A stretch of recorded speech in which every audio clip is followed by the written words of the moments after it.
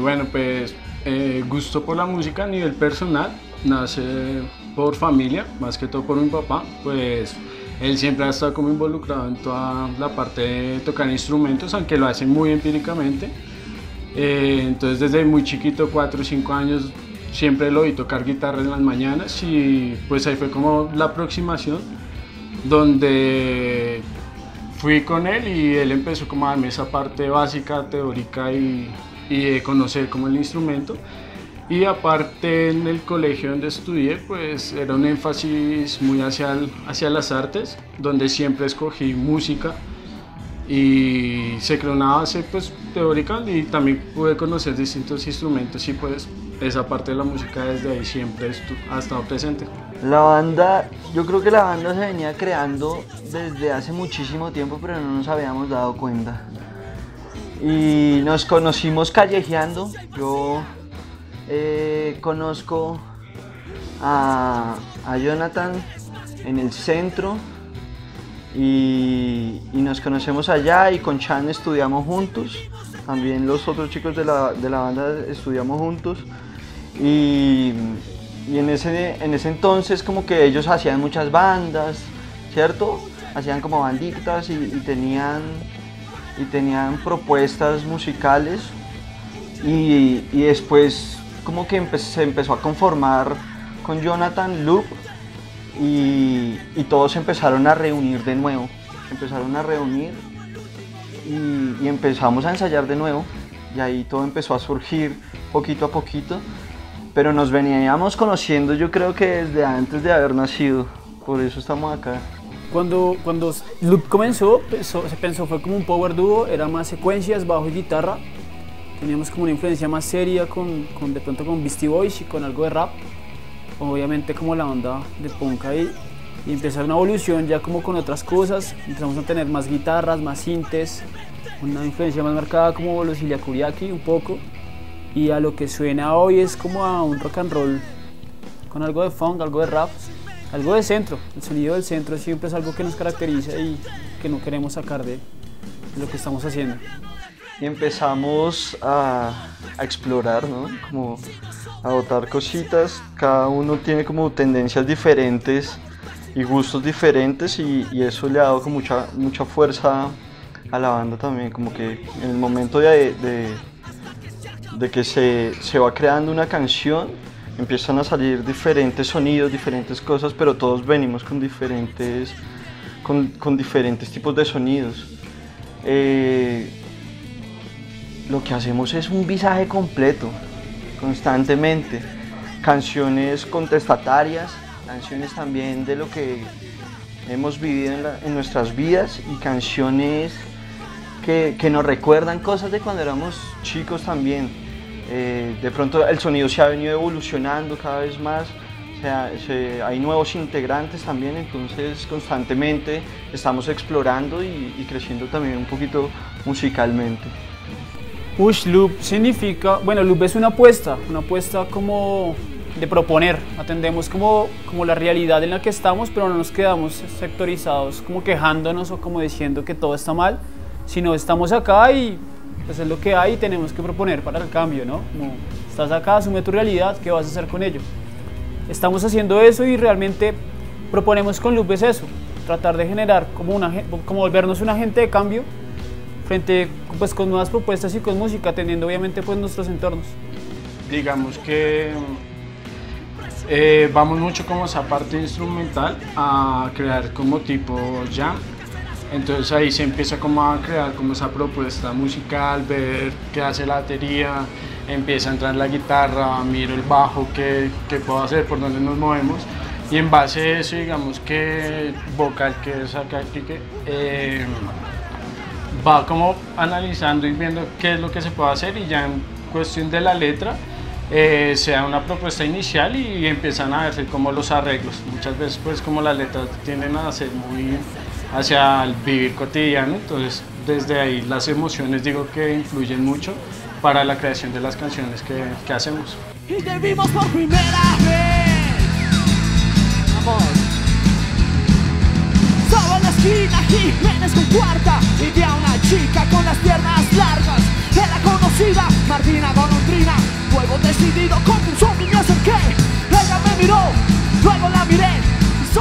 Entonces siempre tenemos un ritual. Entonces nos reunimos y allá el ritual sí no lo puedo contar, es algo bien privado. Y, y bueno, nos, nos reunimos todos y, y como que decimos un poco de palabras y gritamos muy duro y nos subimos de una. Pero siempre es, un poco de nervios antes de subirse. Pero ha sido muy chévere como, como, como ese ritual que siempre hacemos antes de, de subirnos a escena. Ya, ya es algo que siempre hacemos. Pues bueno, lo que pasa es que en tarima siempre tratamos de dar como el 110%. Si nos dicen 45 minutos, tocamos 45 minutos al palo y no queremos tocar un minuto 46 porque vamos a estar agotados. Y la gente siempre responde bien porque a la gente le gusta hacer eso, como ver un proyecto o una banda arriba que los ponga como al palo, que los ponga a brincar. Que todo el mundo llega con una carga toda aburrida como para que llegue una banda y lo aburra uno más. Y la apuesta de nosotros es eso, ponerlos a brincar, sea de la manera que sea. Pues en el momento pues así solo la escena como capitalina, digamos que mm, en el momento pues así súper relevante, así como los primeros toques que, que se han tenido, eh, ya entramos a formar digamos parte de rock and roll, eh, donde ya empezamos a entrar en la escena con distintas varias, a conocer distintas eh, como escenarios, donde realmente ha sido agradable como la aceptación de las personas que nos han escuchado y pues en el momento que uno está tocando ver que, que el público está como, como animado y como que uno también lo intenta involucrar, entonces ver como esa parte musical que él mueve es como muy satisfactorio. Por eso ya sacamos un EP, estamos armando ahorita el álbum y creemos que uno no se puede quedar haciendo covers, sino tiene que crear un, pues construir una escena local y una escena distrital, ¿no? Pues ese es el sonido colombiano. Sin decir que las bandas de covers tengan algo mal. Ush, pues eso sí es como, como tremenda la pregunta porque cuando empecé, cuando la primera vez escribí como la doble, como la primera canción que se escuchó fue como viendo las noticias y encontrándome como ese choque social que presentan, como que pasan de matar niños y después sale una presentadora a decir que el mundo de la moda se va a acabar porque se murió no sé quién. Entonces me pareció como un poco loco. También pues cada uno atiende como sus propias realidades. Vivimos en el centro en donde está mucha gente con muchos cuentos en la cabeza. Y de lecturas así como tal, pues no, cada uno lee como sus cosas. Digamos, a mí me gusta mucho Bukowski, pero como que cada quien tiene, tiene como su propia apuesta. Entonces no, Simplemente como nos sentamos a mirar qué pasa en nuestro entorno y eso es lo que mejor nos funciona, más que tener como esos mecanismos de composición que mucha gente tiene, pero no, no nos pasa eso. digamos, como, como cada uno tenía como sus parches diferentes y siempre nos uníamos, las pues cada uno venía con bandas diferentes y nos íbamos complementando. Entonces a uno les gustaba más el rap, a otros les gustaba más el rock, el punk, eh, no sé, diferentes tendencias. eh, también hay un poquito de electro por allá, ¿no? Y, y se empezó a conformar, digamos, a mí, a mí me gustaban tendencias un poquito más, más como callejeras cuando era chiquitico. Sí, podemos pasar de escuchar la etnia al 527 a escuchar ultrágeno. Escuchamos, eh, pues bueno, por Domotola también, también escuchamos mucha salsa, todo lo que hacía Fruco y sus tesos. Bueno, pues Richie Ray Bobby Cruz es una banda que como que nos ha marcado un montón. Y, y así como que nos movemos, nos gusta también mucho el rap y pues así es que empezamos a hacer como la música que estamos haciendo. Entonces no tenemos como, como un eje rector de bandas y de géneros. No sé, a nosotros nos han llamado Beastie Boys, nos han llamado eh, Rage Against the Machine. Pues, nuestra apuesta es hacer un rock and roll honesto. Eso es como lo que podríamos decir. Tratamos de hacer música honesta y nuestra base es el rock and roll. Que se nos atraviesen otras cosas, pues está bien. Pero realmente nosotros creemos que cerrar la música es, es como una apuesta muy cruel, porque la música nos ofrece muchos espacios para movernos y, y limitar esos espacios también como que nos cierra. O sea, es como decir que Pantera no es Pantera porque a veces este loco tiene otro flow, o lo que pasaba con Soulfly, o con lo que pasaba con Rage Against the Machine. O sea, si viene Rage Against a tocar un rock al parque, creo que nadie va a decir que no.